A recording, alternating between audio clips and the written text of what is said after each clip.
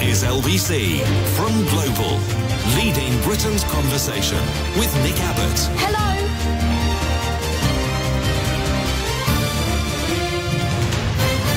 Well, let's get back to it. Spring has sprung, and the hottest day of the year is expected to arrive tomorrow, with the country set to enjoy a fine, dry, and sunny weekend for the most part. And I sincerely hope that it is going to be warm in your part. Saturday will see highs of 20 degrees centigrade in northwest Scotland. Wherever that is, temperatures will be lower in the south. What? In the south, temperatures will average 17 degrees centigrade with plenty of sunshine, and that sounds like it might be nice, but the only way to tell is to translate uh, European surrender centigrade to Her Majesty's Imperial Fahrenheit, as Jacob Rees-Mogg would prescribe.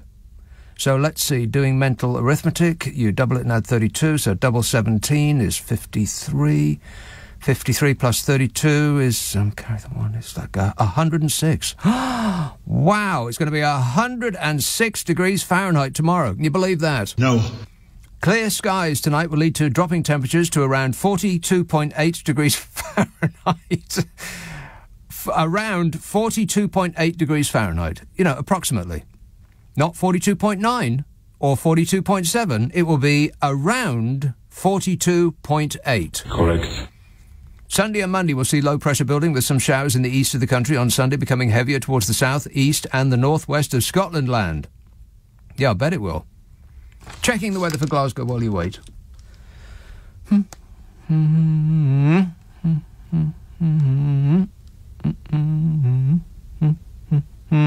Aha!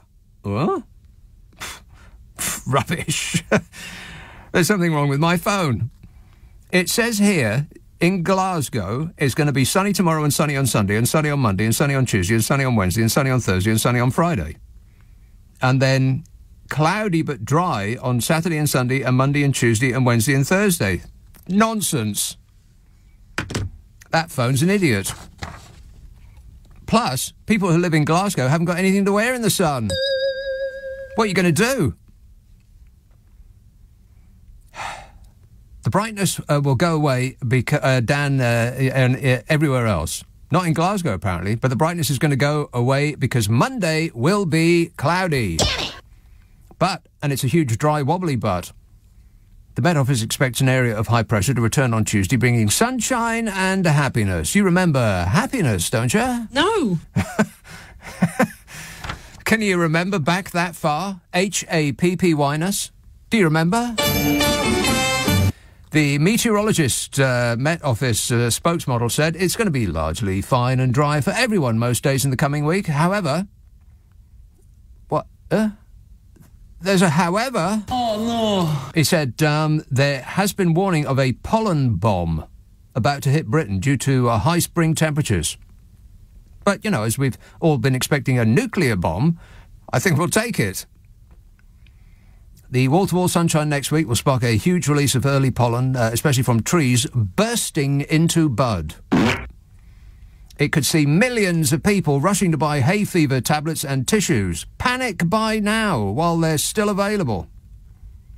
Some sufferers are already reporting runny noses, itchy eyes, and headaches. Stop whining. Here's a fun fact. Hay fever symptoms tend to be uh, the worst around 11 in the morning and 6 in the evening because pollen at that time is at nose level. Pollen apparently starts off sitting on the grass at the beginning of the day, and as the day warms up, the grass warms up, and the pollen particles are shed and they rise into the air.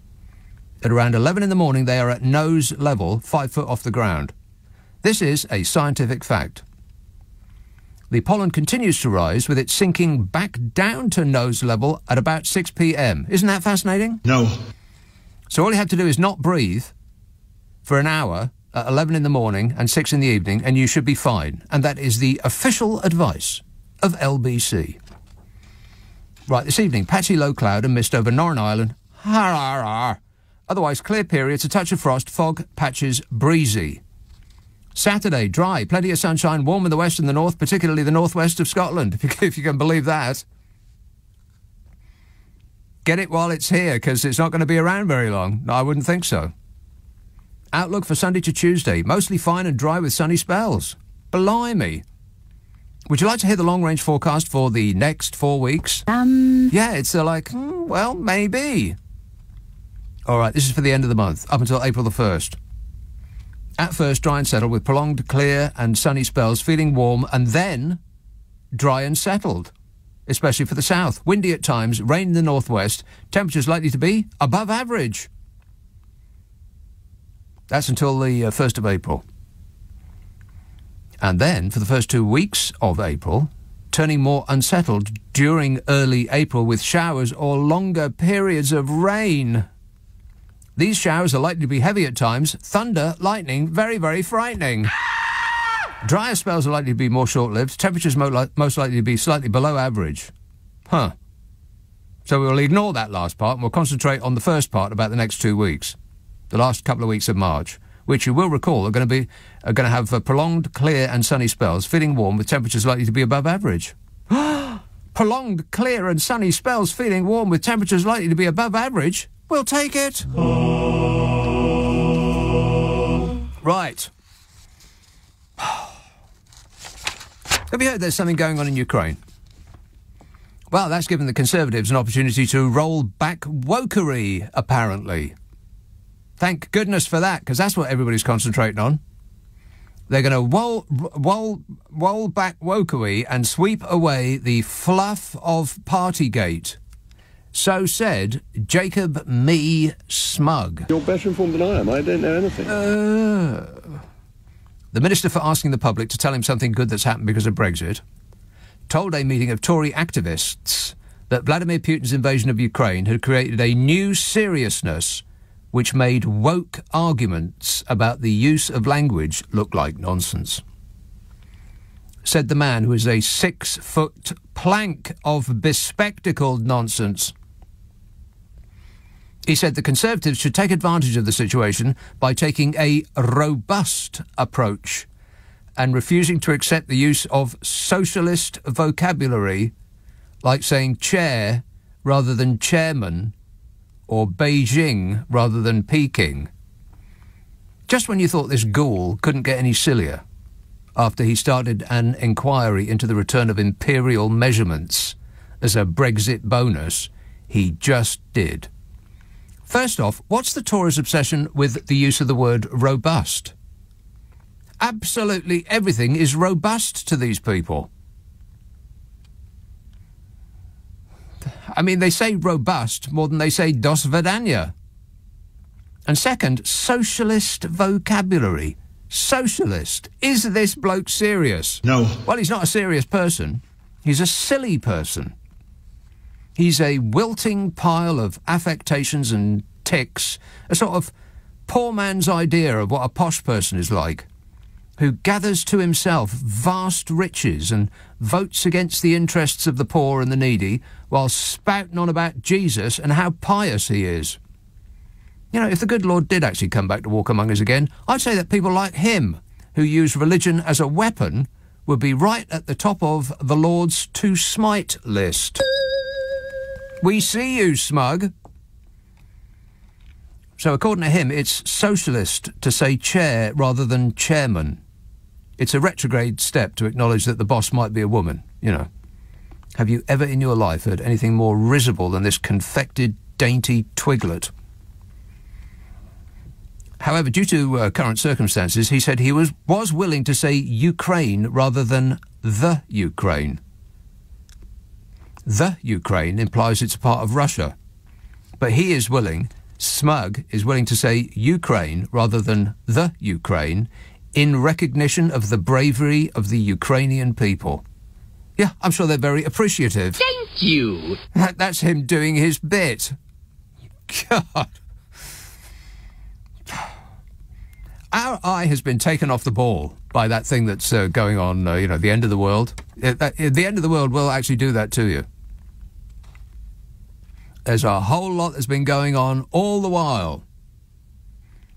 And I'll get to much of it later. Painful. We are being taken advantage of. Bent over a desk saying, Thank you, sir, may I have another? Socialist vocabulary. Speaking at an event hosted by Conservative Home website on the fringe of the Conservative Spring Conference in Blackpool, Smug said that the war had exposed the scandal over pandemic parties at number 10 Downing Street as a trivial distraction from issues of real importance. said the guy who's trying to bring back inches and feet, pounds and ounces, shillings and pence. Nice try, Smug, no sale. They were laws that your party brought in, the pandemic laws, and people were fined for ignoring them. People obeyed those laws, even the bloomin' Queen, who sat alone at her husband's funeral. And thousands could not see their loved ones before they died because of the laws that you brought in, while all the time your party partied like it was 1999. Rock and roll! You do not get a pass because the bloke that's been funding your party went bananas and invaded a foreign country. No. And furthermore, No, no, no, no, no. your lot were guilty before, they're guilty now, and will continue to be guilty, and absolutely no one should let them off the hook. Just because this charmless sundial tells us that we're being silly for not forgetting about it. Smug said the Ukraine crisis was a reminder that the world is serious and that there are serious things to be discussed and serious and difficult decisions for politicians to take. Whether this is about reopening and having new licenses for oil wells in the North Sea, or whether it is about getting away from the wokery that has beset huge sections of society. That's what he said. Okay, first off, keeping us reliant on oil and gas is playing right into Russia's hands. There's not enough oil or gas in the North Sea to last, and it will take ages to reopen wells, and fracking will take maybe decades, and anyone who says that we should be doubling down on fossil fuels is doing Vladimir Putin's work for him. And as for this made up culture war nonsense about wokery that served the Tories so well for so long, it's your lot that keep that fire burning. If you just stopped clutching your pearls to your chest in this fake Victorian fainting fit every time you're asked to consider the feelings of someone else, it wouldn't be such a thing. But you won't let it go because it riles up your fans who might otherwise spend their time wondering where all those benefits of the Brexit you sold them are and why they're so poor when you told them they'd be so well off. Smug said, in the aftermath of Putin's invasion, nobody cares about rows over words which may offend people. Well, why are you bringing it up then, you dissembling hat stand? All that nonsense is shown up for the trivial nature of it, he said, and that we're now looking at serious, difficult decisions that have to be made. I would say the same about Partygate, he said. All of that is shown up for the disproportionate fluff of politics rather than something of fundamental seriousness about the safety of the world and the established global order. What is he talking about? We must forget anything that does not affect the established world order. So all those fines for breaking COVID rules will be paid back, and pretty much anyone in jail should be released immediately. Of course, the reverse should be true of any politician that's taking money from dodgy Russians and has allowed Vlad the Insaner to infiltrate British politics. That would be of fundamental seriousness about the safety of the world and the established global order. Smug said, when we look back in 36 years at Partygate, people will think, what were they on about? They were moving from COVID to Russia and Ukraine, yet they were distracted by whether or not the PM spent five minutes in his own garden. It's fundamentally trivial, he said. And translated from the supercilious to English, that means that anything a Tory minister does is none of our business.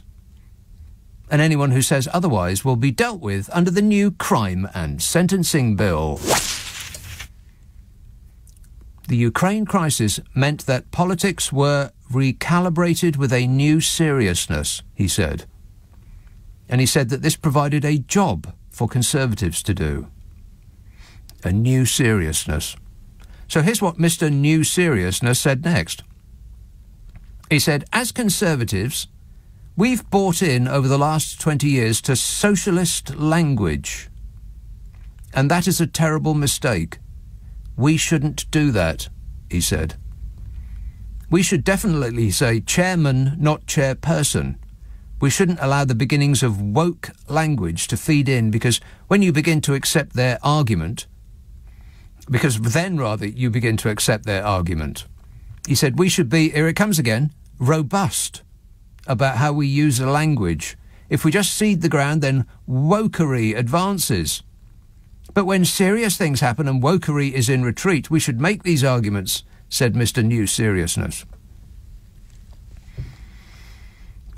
Despite saying he'd switched from the Ukraine to Ukraine in light of the crisis, Smug said he had no view on supermarket Sainsbury's decision to rename its chicken Kiev ready meals chicken Kiev.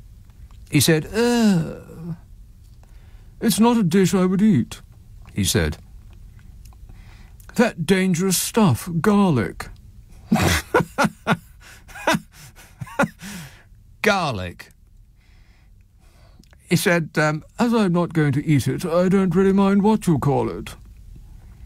He said his own six children had, had avoided indoctrination with the woke terminology they heard at school.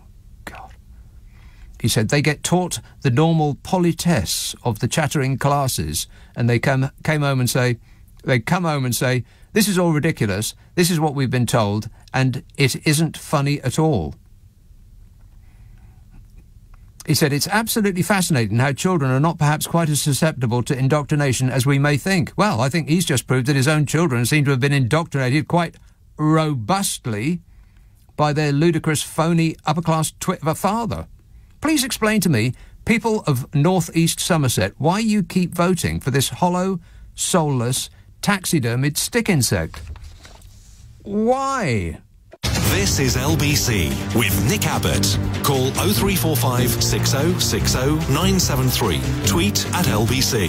Text 84850. Anybody care what this guy thinks? No! Laura texts, whenever my uh, MP, which is smug, is spotted in the village, someone posts about it in our village Facebook group.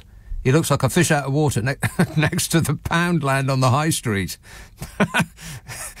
and what is a pound land? Andrew emails all this talk of Armageddon, but don't worry, Arnold Schwarzenegger is on the case. Correct. All we can muster is Cameron in his van driving to Poland. Haven't the people suffered enough? Yeah, we're still not missing you, by the way, uh, David Cameron, but um, we know where to find you when we do. You'll be in the shed where they keep the tools. I think this is nonsense. Yeah, that um, video that uh, Arnold Schwarzenegger did uh, was, um, I thought it was pretty good. Affirmative. I am talking to you. I mean, he, he must be, what, like a, a hundred, 150 years old. And he still looks great. Still looks like somebody you wouldn't want to meet in an alleyway. I challenge you, Vladimir Putin, to a fight with uh, Arnold Schwarzenegger. Not a fight with, uh, you know, one of your lackeys that uh, just uh, rolls over as soon as you touch them. An actual real fight. Uh, Streatham. Hello, Robbie. Hi there. Yep. Robbie. Yeah. Hi. Yes, Robbie, you sound surprised. You called me. Oh, no one told me that they were putting me on. Oh, That's right. we're putting you on. Oh, excellent, Nick. Thank you very much indeed.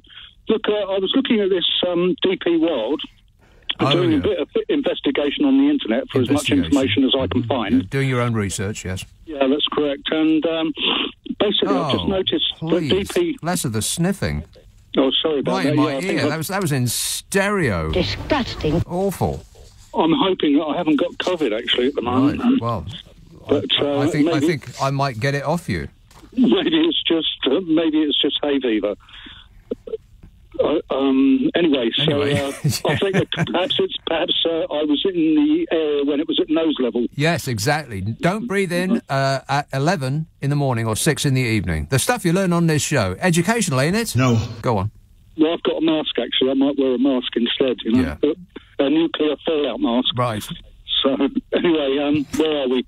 I noticed that DP World um, is doing a deal with um, some Russian oligarch They're very, very close.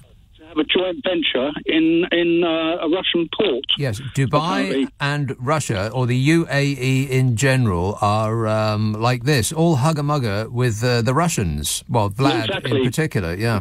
They're I best was buddies. wondering how, how much money uh, oligarch money is uh, invested in. uh, Tons. Exactly. And I'm wondering if this World thing is uh, sort of like a, a political move and uh, to put pressure on uh, the workers in this country. Uh, I, well, I don't think they need to put pressure on the workers in this country because the, the government has done an excellent job for them. Well, I know. I know. It's just extra pressure, isn't it? Right. Okay. Thanks a lot, Robbie. 0345 6060 973. I'll talk about that later. I have no idea whether there's any um, Russian oligarch money in uh, anything that that bloke just said, but there certainly is UAE money all over Russia. They are allies, which I wouldn't be remotely surprised uh, might explain why that happened. The P&O firing happened when uh, his imperial bodgeness was uh, over there begging them to uh, turn on the oil taps. Eh, Bodge? Yeah, yeah, yeah, yeah. Wait a minute, wait, wait a minute. Laughing at you, they are. He was crawling across the carpet, begging them for, uh, you know, a, a little extra squirt of oil. And meanwhile, they were concocting a story that would embarrass him hugely, you know, assuming that he actually was capable of embarrassment, which we all know is uh, not true. What a way to run a country, eh? Dreadful. Laura texts. Oh no, I've read that.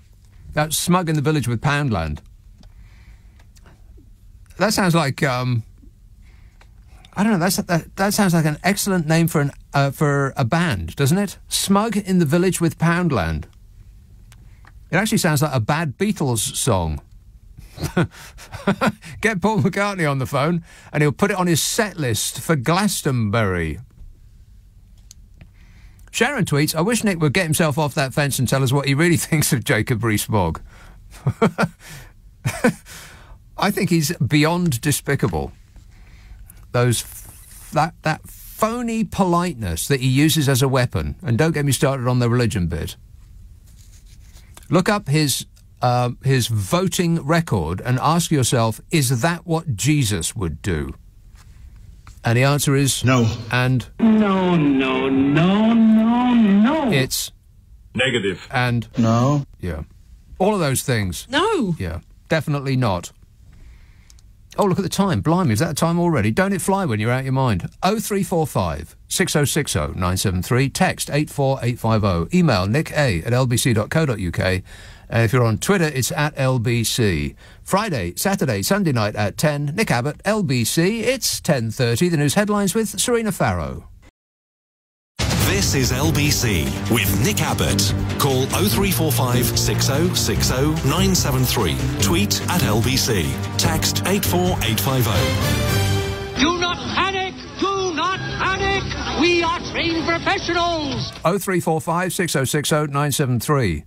Gordon texted Putin just had rootin' tootin' shootin' Putin had just have his equivalent of a MAGA rally in R- Russia today. Yeah, he did. Yes. Yeah, he did. I wonder where he got uh, that idea from, he said. Yeah, Donald Trump's very annoyed. like to punch him in the face. Yeah, go ahead. Go right ahead, Donny.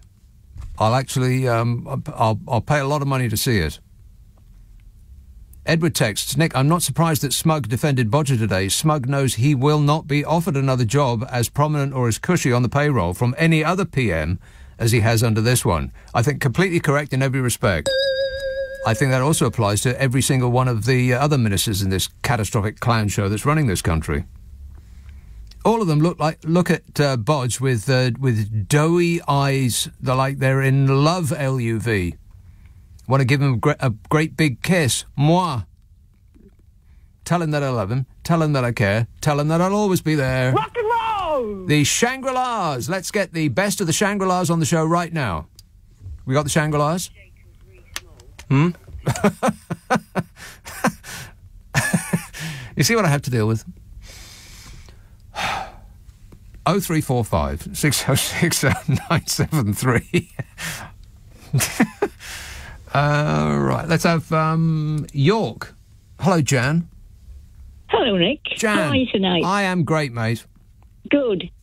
do you know, you did a cracking job with your serious hat on, but um, it's fabulous to have you back to normal tonight. I am busting out all over like the month of June. Mm, it really is good. Did you enjoy it though? But the serious part, Your serious hat, yeah. um, I enjoy doing the. I enjoy that it's different because it really is. Um, but I wish that it hadn't been quite so serious. Yeah, that's a shame, isn't it, really? It seems so long ago. I mean, I can remember doing that show when I I talked to this guy in uh, uh, Yeah, Reparisia, something like yeah, that. Yeah, when the nuclear plant was attacked, yeah. Yeah. That night, yeah. Oh, God. Yeah, you were speechless, weren't you? I was, yeah. I've, I've rarely ever been speechless on the radio. I think that was the, Yeah. the most speechless I've ever been. Um, Yeah. If, if you didn't hear it, about half past ten, something like that, Reparisia, I think I've got that right. Um, this bloke, uh, an English guy who was staying there, called in, told us told us what was happening. He said something like, you know, we, we hear a gunfire, look away in the distance, uh, but it, they they might be coming here. And, and then about two hours later, just before I was going off the air, in came this news that these morons were firing um, weaponry at the nuclear power station just down the road from where this guy was that I'd been uh, talking to. And Yeah. um, I think I must have left such a long period of silence that You I, did. I thought I better say something because uh, if I don't, the emergency tape is going to kick in and it will be Steve Allen talking about biscuits. and then at the end of the show, you usually say, um, I'll be back tonight at 10, don't you? Yeah. And you didn't say it that night. well, I wasn't sure. Well, I know, and I thought, oh dear. And I, I drove home in a bit of a daze, really. And um, I didn't think I'd get any sleep, but I did. I went straight to sleep, and I woke up the next morning. And, and I, my first thing was to look out the window to see if the if there was like a, a an odd colour in the sky. See if we were, still alive, yeah? Yeah, exactly. Oh dear. Yeah. Anyway, Jacob Rees-Mogg, Anyway, yeah, if he um, if he thinks we're all going to forget about Partygate, as he calls it, Hmm. right. I think he's mistaken, don't you? I do. Yeah, I blooming well hope so. The people of this country should not let these people get away with it. Well, certainly not. It, you know, I- oh. I mean, people have, people have already people have already stopped talking about unseating his bodgeness, as though we're, we've all forgotten about that now. That there's uh, that there's a war on. That Hmm. Well, how can that bloke be so lucky? Seriously, one Yeah. thing after the next comes along and saves him. He's either he is either the devil or he's made a pact with him. Probably that, yeah. And aren't they all going to get a pay rise as well? yes, yeah. That, uh, that is ridiculous, I think. yeah. It's it's actually Really? it's worse than that, and I'll come to that later. Really a good. Yeah. Because um, there's been an, a long period that's been excellent to bury bad news, and they Mm. have done just that. I know they must think we're all, they must think we're all barmy. Um, I think they think that we're all gullible, and the reason they think that is because we are. We just keep falling for the same old lines over and over and over again. Like, oh, look, there's a dinghy just over there. Vote Conservative. Mm, yeah. Well, I don't know. No, I don't know either, Jan, No, but it's painful. it is painful, very painful. Yeah. But anyway, it is great to have you back to normal tonight, Uh, okay, well, as I call it. is this normal? All right. Thanks a lot, Jan. All right. Cheers, my dear. Ta-da. 0345 6060 973. Nigel emails, can you think of a group of people you'd like to fire and rehire? I can, although I might s- skip the rehire bit. Yes. Let's make a list. The pay rise. Well, I'll get to that later. I might explode if I talk about it now. But it's worse than the pay rise. They're not only giving themselves a pay rise, it's worse than that. But I'll get to that in a while. This P&O thing. You know, there was a, um, a, a, a, as far as I'm aware, it was a Labour MP's, um, uh, uh, what do they call it? Um, a private members bill that was put forward to ban the uh, the employment practice of dismissing and then re-engaging on a worse contract. It was called the Employment and Trades Union Rights Bill of Dismissal and Re Engagement. And it was chucked out. The noes to the left, or the right it would be, 249. The ayes to the left, 173. The guess which party threw it out? Go on, I'll I'll, um, I'll, I'll give you a while. Go ahead, guess. Correct, Amundo. Every single person who voted no to protect workers' rights from being dismissed and then rehired on a worse contract, every single one that said no was a Tory. All of them. Not one single Tory said no. We do, um, uh, we want to respect uh, employment rights. And then they have the absolute gall to show up and uh, and profess their uh, support with the uh, workers of uh, that just got fired by P and O. I tell you, it, the um, did you see the mail? Oh, didn't take long, did it? Headline: Union mob turns on MP. union mob. Yesterday it was oh these poor people. Now they're a union mob. It took less than 24 hours. Union mob turns on MP as angry P&O ferries uh, protests break out. Tory hating union members turned on Dover's Conservative MP Natalie Elphicke. Y- you know Conservative MP Natalie Elphicke, don't you? Yeah, that's her. She came out to support them.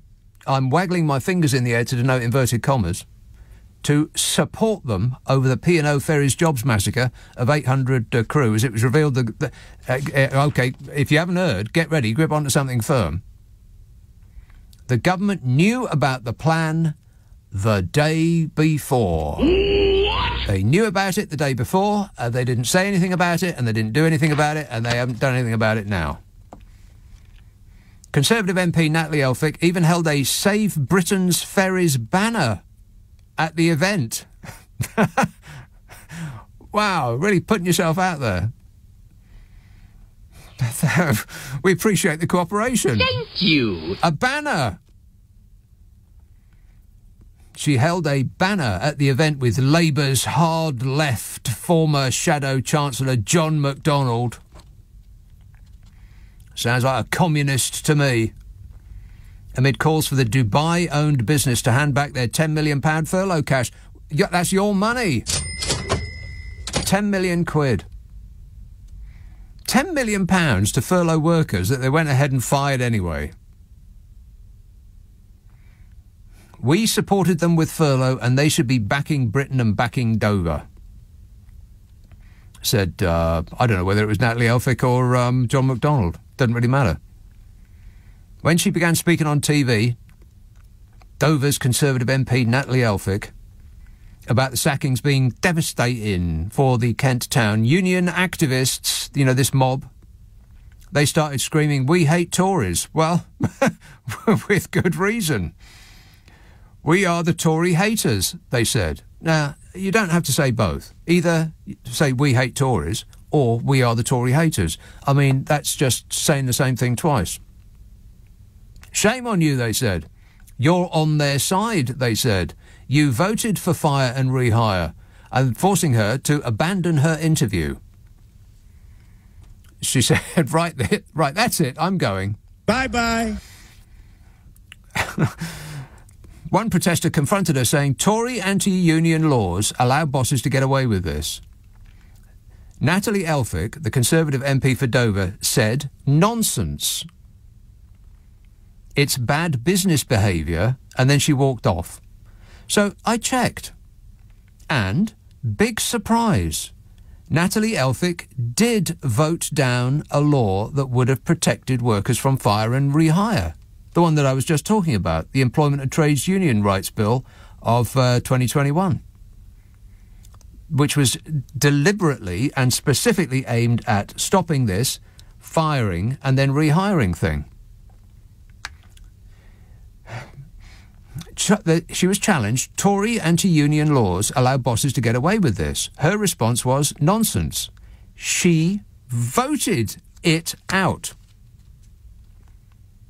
In fact, every single one of the MPs that voted down that Labour Party private members bill was a Conservative.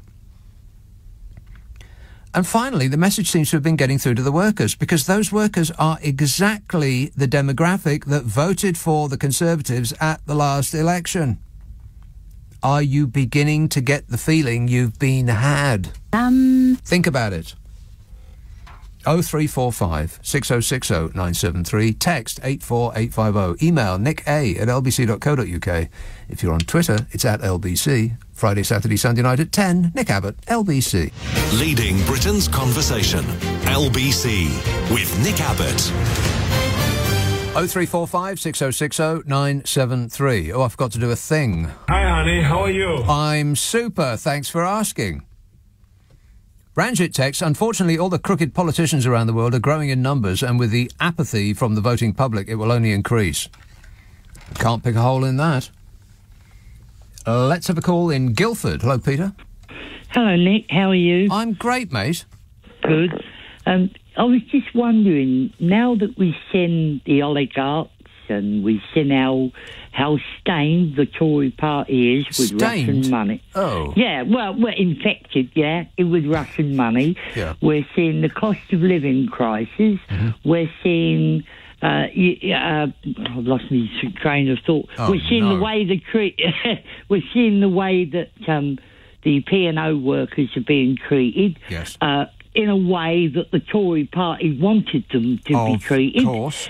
What do you think that the that the voters out there that voted Tory will Mm-hmm. give them an even bigger majority at the next election? Yes, I because do. they'll be so pleased. Yeah, I do. Because it seems to me that the rich and powerful and those that own the right wing newspapers Mm-hmm. have done a terrific job. They've actually managed to persuade people who have nothing to vote for a party that supports the rich as against a party that wants to make their lives better. Amazing, They- but true. They see eh, they see the trade unions as enemies, and they see business as somehow wonderful, you know. And then when something like this comes along, they say, "Hang on a minute, that don't seem right." And then you've got Tory ministers, Nick, that come out and and they look absolutely disgusted with it all. We're, we're, we although we voted to make it easier for people to hire and fire and rehire, yeah. we didn't expect them to actually, Actually, do it. No, quite right. Yeah, that's what they're pretending at the moment. Yeah, they're they're um, they're, they're thinking, oh no, surely not, not under our watch. And um, I, I I guess they just wake up laughing because there's just enough people in this country who are still buying it to give them a stonking majority. Incredible. Yeah, I mean the, the idea as well that that they're talking about. Oh, let's forget what Bodger did with the, the parties and all that. Uh, you know, he's a war hero now. He's the next Winston Churchill. They think, you know, and and we're supposed to forget all that. Whether he broke the law, which it turned out he probably has, Right. and people say, oh well, you know, I Never mean, he has been a great wartime leader. Yeah, that's right. It's it's it's bizarre. It can is you bizarre. imagine? Can you imagine Rees Mogg supporting the left wing of the Labour Party and saying, "I want higher taxes on the rich. I want to really hit them hard." No, you'd never see that. But you see working class people on minimum wage and sometimes going to food banks who support the Tory party, who want to make their lives even harder. It's it's incredible. bizarre. It, it is really weird that the demographic that votes that voted the Conservative Party in are the the poor old and the poor young. By a large margin, it's those that are the most in need voted for the party that's going to do the least for them. And the and the only explanation I can find is, look, a dinghy. Mm. It's the mm. gift that keeps on giving. Yeah. Repelling foreigners, which is why, of course, the government was so um, uh, so lax about their response to the refugee crisis. It, it wasn't by accident. It, it wasn't a mistake. It's the plan.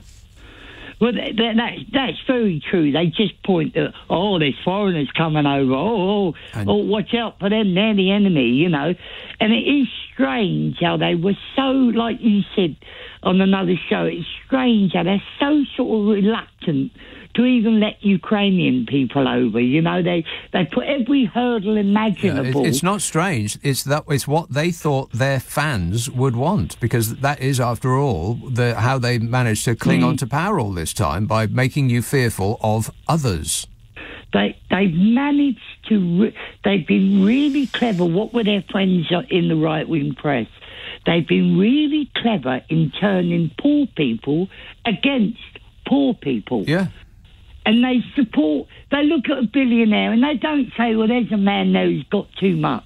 No one minds someone being rich, but when you're super, super, super rich and you're paying no tax, then questions. But they don't look at it that way.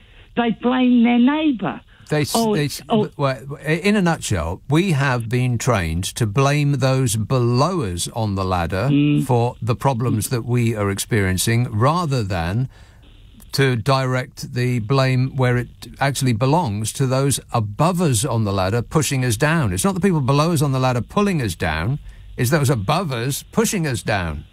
Yeah, it is, and we fall for it. Every for it time. Every, single time. Yeah, And amazing. it, it, it does make me think. Uh, uh, I really do think. I, I heard once that Labour would need to win a hundred seats or something in order to get a majority of one. I don't know whether that's right or not, but if that's the case, then my God, we've got a hell of a job. It's worse than that because they're, they're, the Conservative Party seem to be actually engaging in what the Republican Party have done in America and making it more difficult for those who might not vote Conservative to actually show up to vote in the first Mm. yeah, place. Mm. All of this ID stuff, solving a problem that doesn't exist. How how on uh, what worries me is how on earth with even laws on protest now. Yeah. How on earth do do people? Yeah, how do we get our message across? They seem to have a lock on, on, on A everything. lock on people's minds. Yeah, wake up, sheeple. It's later than you think. All right, thanks a lot, Peter. I know, it's galling, isn't it? The only way in which the system can become fairer is proportional representation. Over half of the votes cast in this country count for nothing. Zero. I mean, the Tories got what, 44, was it 46%? And that was of the people that could actually be bothered to go out and vote. I think it was a 70% turnout last time around, something like that. Which is remarkably high, apparently. Well done, everybody. you managed to uh, make it to 300 yards to the uh, polling booth at the end of your road. Congratulations. Course, 30% of us couldn't be bothered because, you know, oh, it's like so boring. I don't want to. Oh, they're all the same. You know, all these stupid arguments that come out every time. The masses are asses. That's just a fact. It's almost as though they deserve what they get, but the rest of us don't. So the majority always get ignored under the system that we have at the moment, which suits the Conservative Party just fine, because the people that vote for them will crawl over broken glass to vote for them.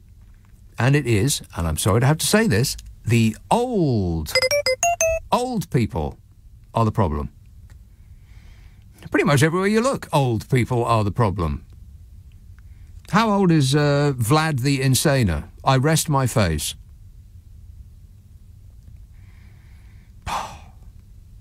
Anyway, uh, Ashley says, surely an employee is only redundant if their job no longer exists. If these jobs at P&O really no longer exist, what are all these agency workers going to do? Oh, no, you've blown my mind, Ashley. Uh, and Tomaz texts, but imagine the alternative. Corbyn, that horrible commie who wanted to feed the children and get billionaires to give back a bit more. I mean, the cheek on this guy. Yeah, thank God that we, uh, you know, we we uh, didn't uh, suffer that. What a way to run a country, eh? Dreadful. 0345 6060 973. Text 84850. Email nick a at lbc.co.uk. And if you're on Twitter, it's at LBC. Um, well, things I want to talk about include, but are not limited to, a very strange uh, thing I found today about that P&O thing was um, an organisation that seemed to be, on the face of it, actually um, working towards that result. I know that that's a bit vague, but I'll fill in the gaps for you. Um, there was also a pay rise issue for MPs, and like I said before, it's worse than that. wow. Text just come in. Andy texts, Nick, you are an old people. Offensive. Hello, boys. 0345 6060 973. Susan texts, the P&O workers should embrace their seafaring heritage, commit mutiny, and confiscate the ships until new and reasonable terms are agreed. Let the Tory backbenchers hand wrangle about that. hand wrangle? I don't think I've heard that one before. Sounds awful. Disgusting. Uh, hands above the tables. Richie texts, Mogg lives in Brideshead Revisited land where his teddy is more important than the normal person in the street. He wouldn't recognise a normal person in the street if his chauffeur drove over one. 0345 6060 973. Seriously, people of North Somerset, why do you keep voting for him? What is it about him that makes you keep voting for him? I'm, I'm really curious. I mean, it's not a wealthy place. I think it's that the we Brits have been um, uh, been um, we've had it inculcated into us to be uh, deferential to those uh, what speak uh, posh, in it. and then we all start doffing our caps, falling to the floor. I mean, and it's like an instinctual reaction, like Pavlov's dogs. Uh, and then we, we, we, just whatever you say, your lordship.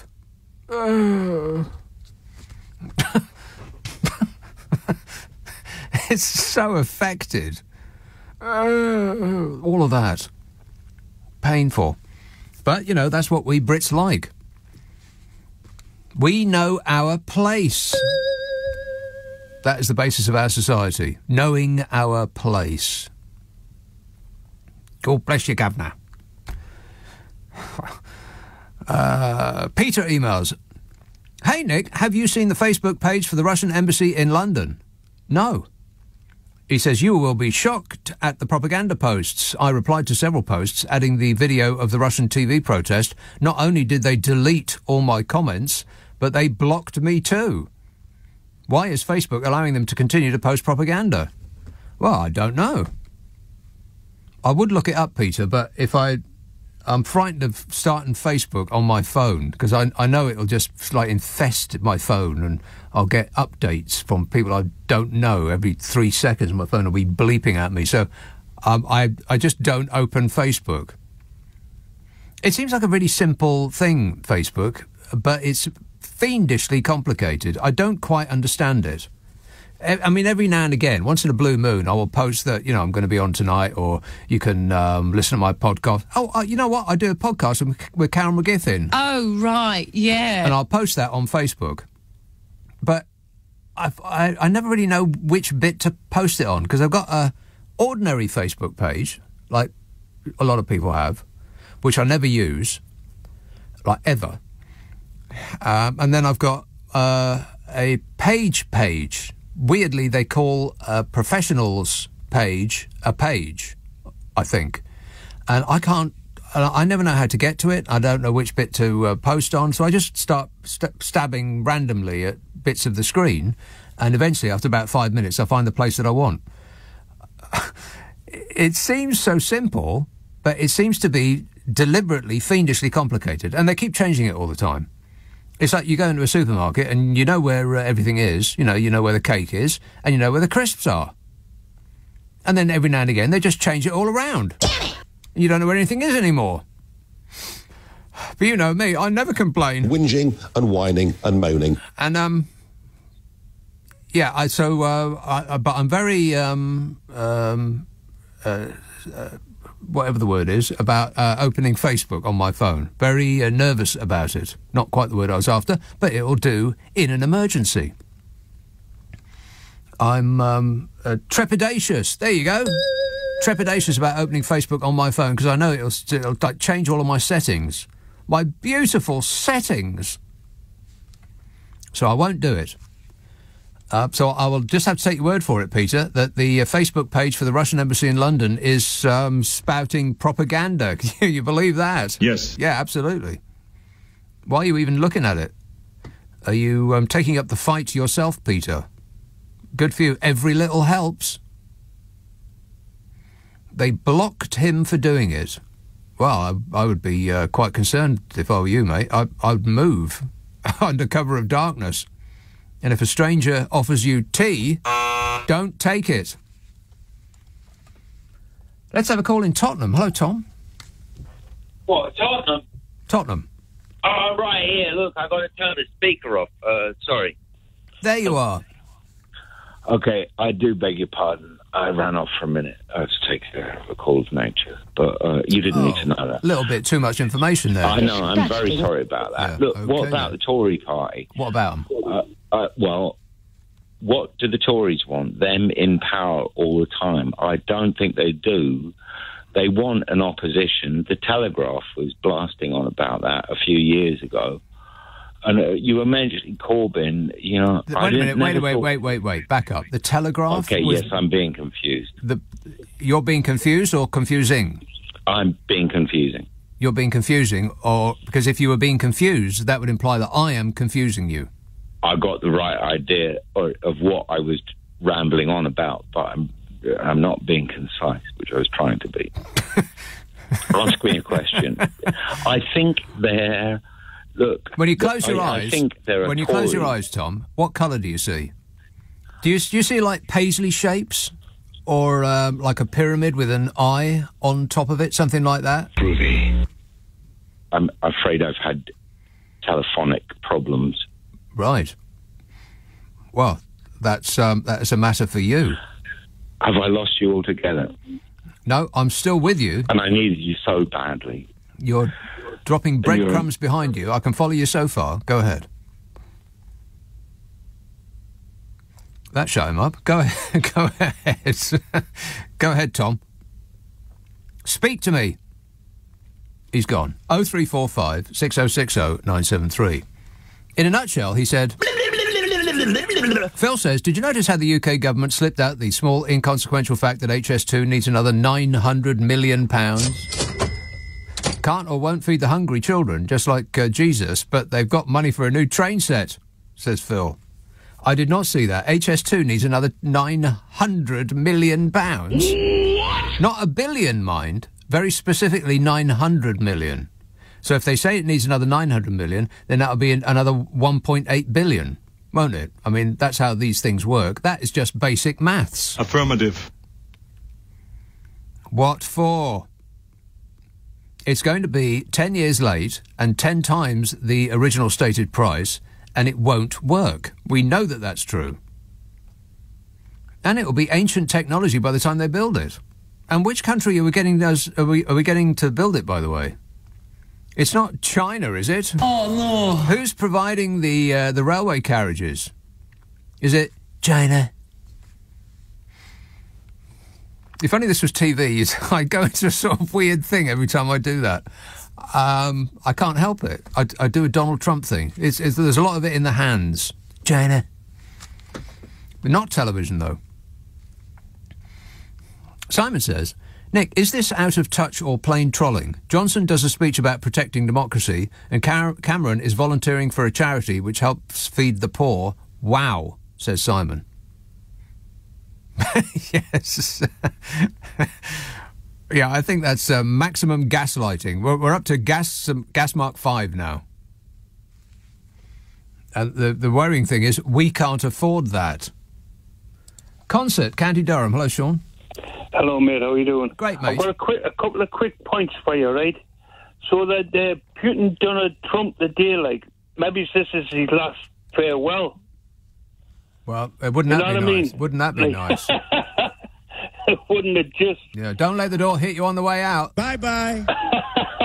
I was watching the, the Sky News the day there, and uh, halfway Johnson was on the television Mm-hmm. making a fool of himself. What was he doing now? Sky, and Sky News cut him off, and they never went back to him when he was live talking. Like. really? Good for I thought, it them. was, I thought it was fantastic of Sky News cutting him off. Yeah. Like. Yeah, that, yeah. They, they just said Boring. and then went to the ads. Yeah. Well, I definitely think I definitely think this is this is Putin's last. Uh, um, I think it's his last farewell on Earth. I think. Right. But So he was singing today on stage, wasn't he? Maybe he's auditioning for the X Factor. Too late, Vlad. They've cancelled it.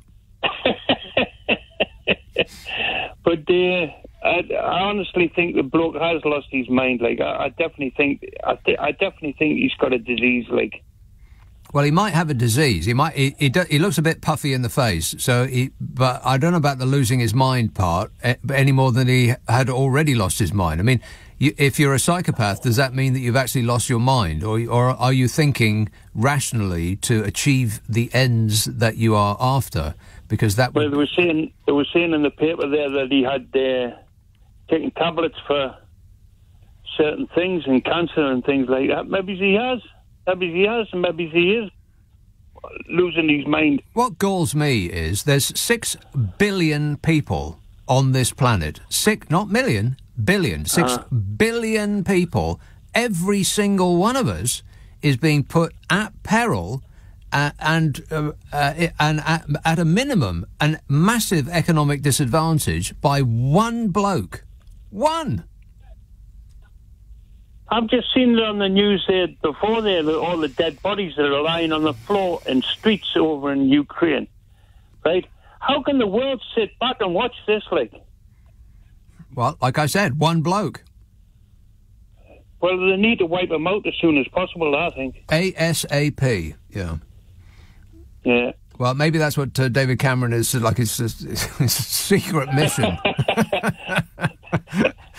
Maybe he's um, he's got a, a pie van loaded up with high cholesterol products, and he's uh, planning on uh, you know force feeding them breakfast, lunch, and dinner. Exactly. All right. Yeah. Thanks a lot, Sean. 0345 6060 973. Sanj texts Hi, Nick. When we were in the EU, we had workers' rights.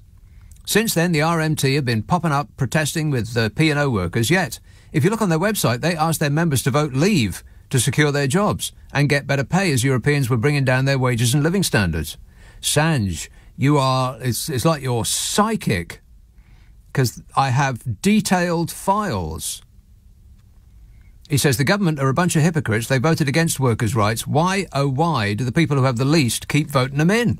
That's an excellent question. Um, that uh, Sue, uh, what's her name, who writes for The Guardian, was asking this. And I was just trying to look up the column because I, I didn't. Um, I didn't bring it with me, but I did read it. It was uh, what's her name? You know that the the woman from the thing. Am I being specific enough? I can't remember what her name is. She's a very famous uh, writer in The Guardian. But anyway, a, a column was about why do old people keep voting for the Conservative Party? Over and over and over again, they get shafted and they keep voting for the same blooming party that, uh, that uh, did it to them the last time. Again and again and again and again and again. Like I said before, wake up, sheeple. It's later than you think. It's mystifying. Look at the demographics. For the people who voted for the Conservative Party last time round, the poor and the old. It's amazing. It's the opposite to what you would think. You'd think it would be the rich. No, incorrect. The poor and the old overwhelmingly voted Conservative. Why? Perhaps it's because the last 11 years of a Labour government under the disastrous premiership of Jeremy Corbyn. Oh no, that's right. It wasn't him. Explain it to me, I double dare you. It's mystifying. Other than there's a dinghy. I mean, is is that it? Is that really it? We're about to have a tsunami of foreigners vote Conservative. I can't think of anything else. Can you? 0345 6060 973. Text 84850. Email nick a at lbc.co.uk. If you're on Twitter, it's at lbc. Friday, Saturday, Sunday night at 10. Nick Abbot, LBC. Nick Abbot on LBC. Call 0345 6060 973. I think he's betraying a quite stupefying ignorance. Right, here's that um, RMT story. Transport Union RMT. This is 2016 before the uh, EU referendum. Transport Union RMT today set out six. I don't know why I'm doing it in that accent. Set out six key reasons why it will be advising members to vote to leave the European Union in the forthcoming referendum. You ready? So this is the RMT, the very union that represents these people have uh, just been uh, fired by P&O. Before the referendum, they were advising their members to vote to leave the EU. Now, before I get into that, there is a little bit of a background. This was in the, the New Statesman by Anoosh Chakelian. I've got no idea who that is, but they are excellent in every regard, I'm sure. Anoosh Chakelian says, leaving the European Union, Brexiters argued that it would mean an end to importing low-cost European labour that undercut British workers. You remember that? An end to low-cost European labour undercutting British workers. How's that going, by the way? Oh, fabulous. But the P&O mass layoff exposes this argument as a red herring. The problem was not freedom of movement, but a loosely regulated labour market and poorly enforced labour laws, particularly relating to agency work and bogus self-employment. Time and again, she said, is that a she? It. Offensive. Anoosh says, time and again, I've come across unscrupulous employers outsourcing work to agencies that pay lower wages and allow fewer rights to their workers than permanent employees receive. From hotel maids, office cleaners, uh, carers working under shoddy agency conditions to gig economy workers like uh, drivers and couriers fighting for labour rights. I have reported on the many cracks and grey areas of UK employment rights over the years. Well, cracks implies that it's a it's an error, it's a mistake. Not a mistake, it's the plan. Anoosh says they existed before Brexit. Now it looks like they will persist after it, despite Bodger Johnson's promise of a high wage, high skill economy. Yeah, right. That's what it'll be. High wage, high skill.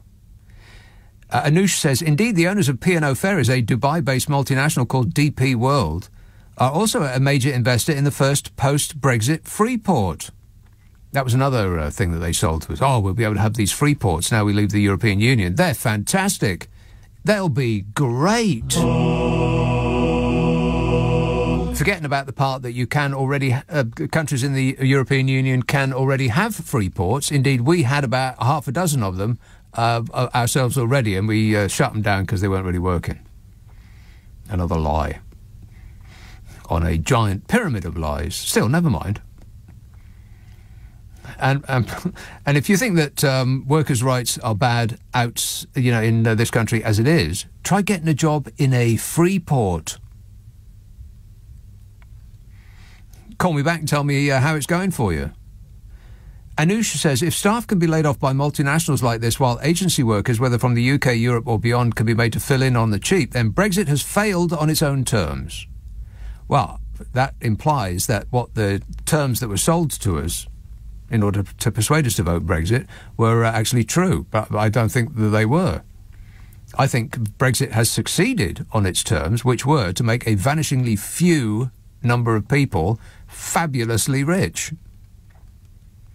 They woke up with gold in their mouths, you remember? She said, she, he, Anoosh says a dull technical slog that involved catching the UK's labour laws up with modern working practices, beefing up its enforcement agencies, and empowering trade unions would have helped keep these ravages of globalisation in check. But there's no handy three word slogan like Get Brexit Done for that. Correct. So here's what the RMT advised their members. One, leave the EU to end a tax on rail workers. New EU rail policies, they said, are set to further entrench rail privatisation and fragmentation. That will also mean more attacks on jobs and conditions, and EU laws will make it impossible to bring all of rail back into public ownership. Well, that's odd, because practically every country in the EU has state owned railways. Two, leave the EU and end attacks on seafarers and offshore workers. How's that going? Dreadful.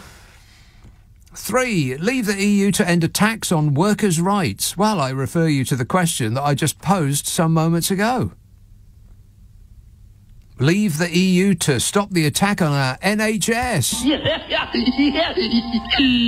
and leave the EU to support democracy. Well, not if Vladimir Putin has got anything to do with it. Honestly, is there a document that has aged worse than this one? This is the actual RMT telling their members reasons why they should vote to leave the European Union. It says that RMT will be promoting the six key points direct to members across all sectors of the transport industry through the union's uh, uh, news and branches and reps and etc. and so on. RMT is proud to stand up for the tradition of progressive and socialist opposition to the European Union, an organisation wedded to privatisation, austerity, and attacking democracy. The European Union, not the Conservative Party, privatisation, austerity, and attacking democracy. They said vote with the Conservative Party against the EU. I mean, it could have been written by Jacob Rees-Mogg. What were they talking about? And so I thought, I wonder what other uh, organisations were uh, thinking about it at the time. And I looked up what the TUC were saying. And it's the absolute, total, and complete opposite of what the RMC was, uh, uh RMT was saying. The TUC released a paper in 2016 which, said, which was called UK Employment Rights and the EU Assessment of the Impact of Membership of the European Union. It's um, a couple of minutes long. Can you stand it? Since the mid 1970s, the European Union has played an important role in protecting working people from exploitation and combating discrimination, says the TUC. These EU rights have provided an important counterbalance against pressure for the UK to adopt a US style hire and fire culture where there is an absence of statutory employment rights. Well, I'll just take a breather there for that to sink in. This was in uh, 2016. EU rights, an important counterbalance against the pressure for the UK to adopt a US style hire and fire culture. Are ringing any bells? It said the, e- the EU has adopted a diverse range of treaty provisions and directives which provide important employment protections, has the EU done. They've safeguarded health and safety, promoted equality in the workplace. In some areas where the EU has legislated, the UK already had laws in place such as equal pay, maternity rights, sex, disability, race discrimination, and health and safety. Even so, EU action in these areas has improved and extended rights and now underpins them, making it more difficult for the UK government to undermine them unilaterally, unless, of course, we're not in the European Union anymore. The TUC said in other areas the UK had to legislate for the first time in response to EU requirements.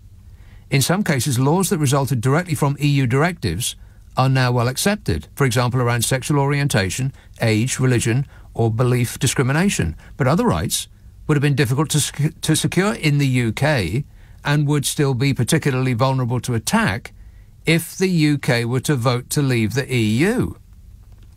For example, UK government strongly resisted equal treatment rights for agency workers, working time limits, and rights for workers to receive information and be consulted on changes in their workplace that could affect their jobs or terms and conditions.